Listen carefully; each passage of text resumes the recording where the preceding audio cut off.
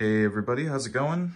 Um, I saw in the reviews for this PC here, the CyberPower PC Gamer Supreme, or the Supreme Gamer, I'm not really sure, um, that people were having issues with the uh, temperature of the CPU and uh, potentially the GPU, depending on which one you got.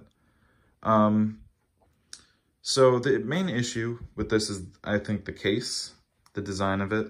Um, it really only has a few areas of exit because of the way that they set it up. So here, first off, um, the intake fans, which are these two, are blocked off for the most part, and they are blowing cool air from these two panels here, these two little slots. Um, and then you have the radiator for the CPU, liquid cooling, um, and it's blowing a little bit of hot air out, kind of, but it's really blowing the hot air out of the liquid cool. So it's it's really just cool air is blowing in and then hot air is being created if you're playing a graphically intense game. Um, and then it has nowhere to really go. So my solution was I added three fans here um, that are exhaust fans. They're blowing fans, they're blowing air out. And an exhaust fan and an intake fan, all that really is is the direction.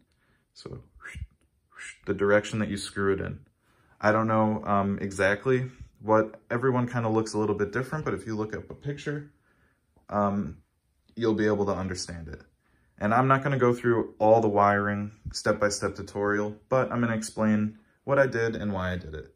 So um, these three fans here are good because it's the same fan that comes here. Um, and what you can do, and what you need to do really, I bought these two things from Amazon. The three fans, these were cheap. They were RGB. It's not really a specific reason why I got these. I kind of just randomly picked them. Um, they were cheap. That's why I bought them. Then I bought this port. Um, and this port I bought because it looked nicer than the other ports and the reviews said that it was able to control the fan speed. Because the issue that I ran into after I initially connected these and you daisy chain them together and then it comes with this little three-way connector. And I when I plug this three-way connector into the chassis uh, fan 2 port under the motherboard, it's a little bit hard to see.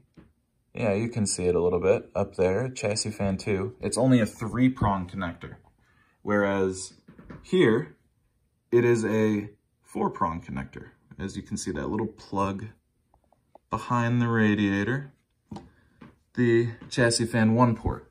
And initially, what's plugged into that is these two fans and either this fan, but I believe it's this fan.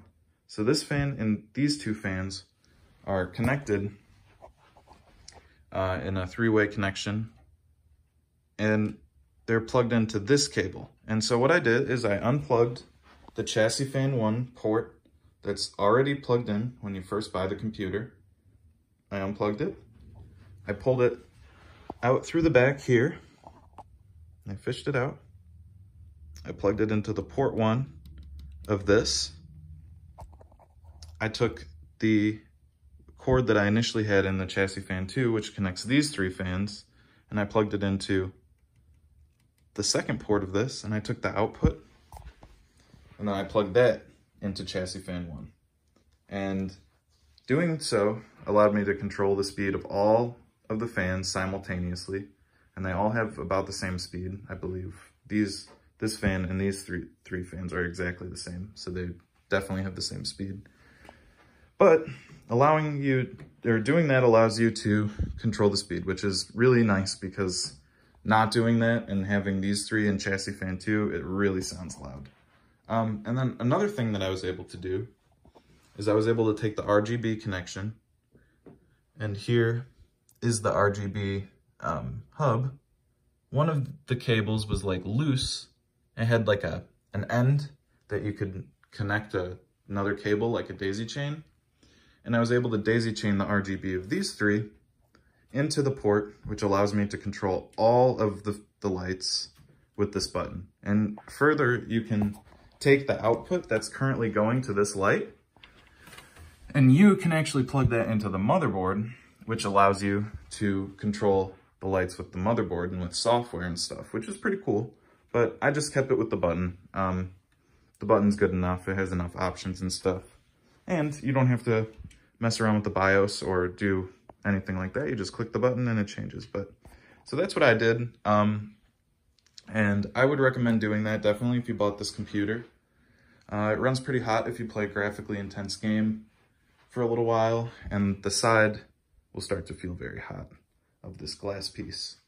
Um, but really that's it, and you can apply this kind of knowledge to any uh, computer as long as you think about the principles, like if you look at your fans and you know that these are intake, and you realize that there's a lot of hot air here, hot air rises, you take three exhaust fans and you have them blowing hot air out, it really makes a difference. My uh, temperatures changed by about 10, 10 degrees Celsius, which is a, a very big difference. I was hitting 90 when I'm playing Assassin's Creed Odyssey for only about 30 minutes.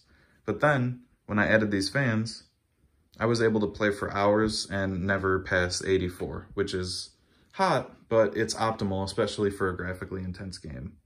Uh, so that's really it, guys. Uh, if you have any questions, just leave them in the comments. I'll try my best to answer them.